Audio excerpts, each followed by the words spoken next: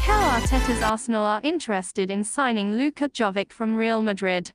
In the January transfer window, according to The Sun. The Sun have reported that Arsenal are planning to make a late loan bid for the Madrid striker, and see him as potential alternative to Fiorentina star Dusan Vlahovic. The report in the British tabloid has suggested that the Serbia international striker is open to a loan move to Arsenal, stating that the 24-year-old is eager to prove himself in England. In our view Jovic would be a risky signing for Arsenal, even on a loan deal. The striker is rated very highly. But he is not doing well and is not playing regularly for Madrid at the moment. Jovic has made 11 substitute appearances in La Liga for Carlo Ancelotti's side so far this season, scoring one goal and providing two assists in the process.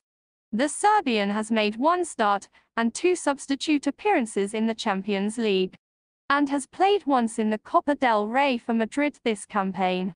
If Arsenal are looking for a striker who can make an immediate impact, then in our view Jovic is not the right one.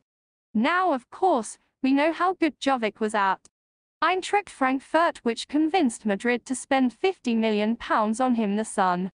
Former Frankfurt manager Adi Hutter, now at Borussia Mönchengladbach, described Jovic as a world-class striker who brings extraordinary ability in February 2021.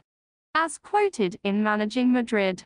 However, can Arsenal take the risk of signing a striker who has not played much season and may not hit the ground running?